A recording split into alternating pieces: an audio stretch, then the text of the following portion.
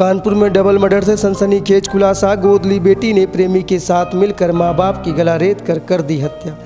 कानपुर के बर्रादो EWS colony में सोमवार देर रात गोदली हुई बेटी ने प्रेमी संग मिलकर अपने माता पिता की गला रेत कर हत्या कर दी। पुलिस को गुमराह करते हुए अज्ञात युवकों पर हत्या करने का आरोप लगाया। पुलिस ने साक्ष्यों के आधार पर मंगलवार दोपहर उसको हिरासत में लेकर जब पूछताछ की तो देर शाम उसने सच उगला पुलिस का दावा है कि प्रॉपर्टी हत्याने के लिए माता पिता की हत्या की गई।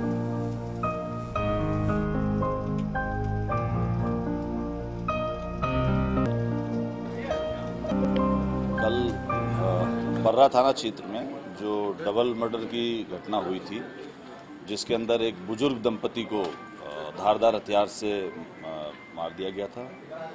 पुलिस तत्काल मौके पर पहुँचे, हमारे वरिष्ठ अधिकारी मौके पर पहुँचे और जब सबसे पूछताछ करी, घटनास्थल का निरीक्षण किया फॉरेंसिक की टीम गई तो उसे यही स्पष्ट हुआ था कि ये संभवतः जो घटना घटित हुई है, वो परिवार के अंदर ही हुई है। इनिशियली दो लोगों को, जो लड़का था, उसके सालों को नामजद किया गया, जो कि फतेहपुर के रहने वाले थे। और उन पर आरोप यह था कि उसका अपना पत्नी से विवाद चल रहा था और इसी के मद्देनज़र उन दोनों जो उसके साले थे, उनको नामित किया गया। पुलिस ने अपनी तफ्तीश शुरू करी और पहले ही करीब एक डेढ़ घंटे के अंदर ही क्लियर हो गया कि ये नामजदगी गलत है। और उसके पश्चात जब फॉरेंसिक की टीम ने उसकी बेटी से, भाई से, सब चीज़ों के बारे में पूछताछ करी तो ये चीज़ निकल कर आई कि इस घटना के पीछे जो मृतक हैं, उनकी बेटी ही का ही हाथ था। मुख्य रूप से जो निकल कर आया उसके अंदर कि उसने अपने जो उसका एक प्रेमी था, रोहित उत्तम, उसको उसने बुलवाया था और इससे पहले, जो आया था उससे पहले उसने जूस के अंदर कुछ नशीला पदार्थ मिलाकर अपने भाई को और अपने माता पिता को दे दिया था तो दोनों बेहोश थे। जब दोनों बेहोश हो गए, उसके पश्चात वो, उसने उसको दरवाज़ा खोल के बुला लिया और धार धार हथियार से दोनों की हत्या कर दी। जो लड़का था, वो ऊपर छत पे सोया हुआ था। इनिशियली इन लोगों की जो तफ्तीश में आया कि इनकी प्लानिंग थी कि शायद लड़के की भी हत्या कर दे, लेकिन चूँकि बगल की छत जो जुड़ी हुई थी, वहाँ पे तीन चार लोग सोए हुए थे तो ये उन्होंने इस विचार को त्याग दिया। और उसको जो नशीला पदार्थ था तो उसके अंदर और नशील, नशीला पदार्थ देने की कोशिश की गई, जिससे कि वो उससे जाता। उसमें दो तीन पहलू इसको करने का प्रयास किया गया। पहला चलिए, अब आपको पूरी स्क्रिप्ट बताते हैं कि किस तरीके से दोहरे हत्याकांड की स्क्रिप्ट प्रेमी के साथ मिलकर उस बेटी ने तैयार की थी। दरअसल घटना का पूरा प्लान सेना की जवान ने बनाया था, जो प्रेमी का सगा बड़ा भाई है। प्लान के मुताबिक माता पिता और भाई की हत्या करने का था।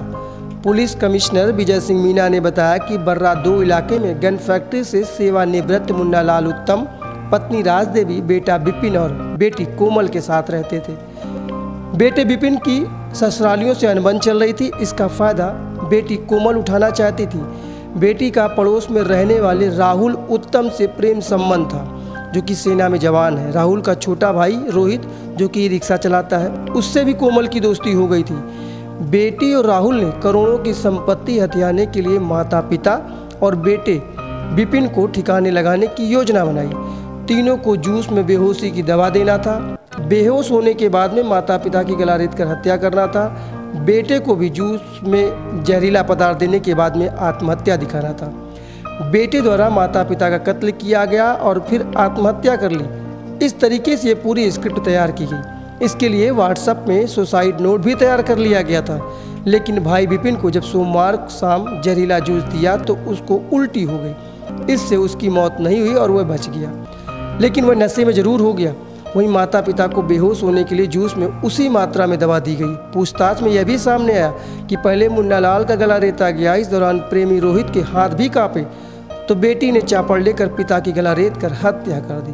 इसके बाद माँ को दूसरे कमरे में घसीट कर आगे वाले कमरे में लाए और उसकी भी गला रेत कर हत्या कर दी। बेटी और सेना के जवान जो कि कोमल का प्रेमी था, उसने ये पूरी योजना बनाई थी और पूरी स्क्रिप्ट तैयार की थी। दंपत्ति की हत्या के बाद भाई को आत्महत्या दिखाना था, जिसके बाद दूसरों को सामने यह लाना था कि माता पिता की हत्या के बाद भाई विपिन ने आत्महत्या कर ली। इसलिए भाई को अधिक मात्रा में जहरीला जूस दिया गया था, लेकिन उसको उल्टी हो गई जिससे वह बच गया। भाई के बचने पर फिर से कोमल ने एक अलग योजना बनाई कि भाई के ससुराली ससुराल वालों पर हत्या का दोष मर दिया जाए। इस पर बेटी कुछ समय के लिए सफल भी हो गई बेटे ने अपने ससुरालियों पर नामजद एफआईआर दर्ज करा दी। पुलिस ने उनको हिरासत में भी ले लिया। पुलिस ने दोहरे हत्याकांड की जाँच करते हुए जब वैज्ञानिक साक्ष्य जुटाए तो फॉरेंसिक टीम ने बेंजाडीन टेस्ट कराया तो कपड़ों और शरीर पर मानव रक्त की पुष्टि हुई। इस तरीके से पुलिस ने पूरे मामले का खुलासा किया।